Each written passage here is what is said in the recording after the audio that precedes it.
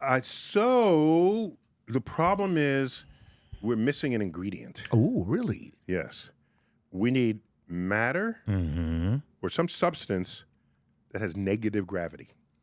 Uh oh. Okay. So matter has gravity. Right. So matter can make black holes where you're compressing things down into one place. Right. And a wormhole requires you pry open the fabric of space time. Got you. So you'd be parking this negative matter, this negative gravity substance, in a way that you pried open a tunnel through The space-time. fabric of space time. the fabric itself. of space time itself. Wow.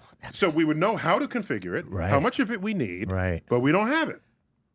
Gotcha. Now there are people who say, "Well, what about dark energy? That's a negative gravity Mm-hmm. Negative pressure gravity in the vac- pressure in the in the vacuum of space. of space." Right. Since we don't know what it is, I'm not saying let's set up a factory to make wormholes out of it.